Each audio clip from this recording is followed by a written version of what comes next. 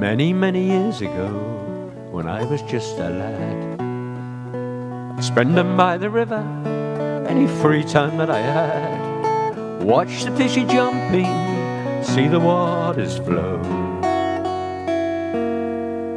I'd throw a stone into the current and watch the ripples grow. Look into the rushes where the ducks and swans would hide. Cross a little wooden bridge to reach the other side. Down by the Port Royal and the old match factory. I'd walk along the riverbank until I reached the quay. There was a steel rope across the river wide. There would be a wooden boat tied up to the side.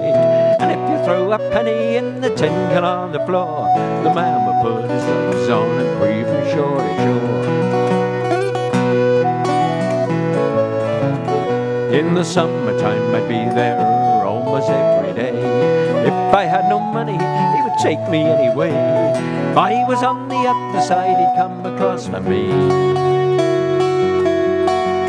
The man who worked hand hauled ferry down the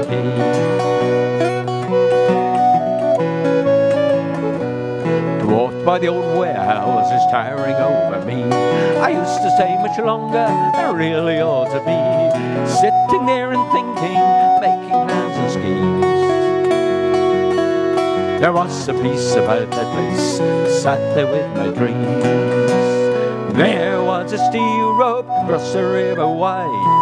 There would be a wooden boat tied up to the side. And if you throw a penny in the tin can on the floor, the man would put shore to shore.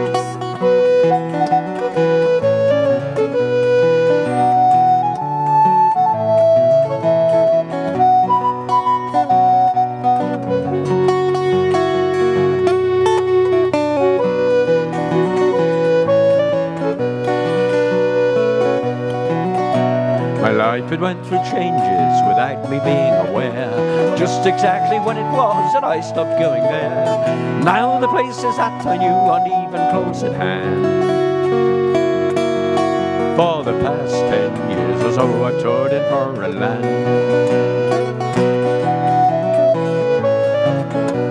Something happened recently rhyme. I bought an English newspaper to keep up with the times. Thumbing through the pages, and what did I see? A picture of the hand hauled ferried under the quay. It was the strangest feeling, my eyes they filled with tears. Memories of plans and dreams forgotten through the years. I'd made up my mind that I'm going home to see. A hand hauled ferry across a river down at the quay. There would be a steel rope across the river wide. There would be a wooden boat tied up to the side. And if you threw a penny in the tin can on the floor, the man would put his gloves on and pull you from shore to shore.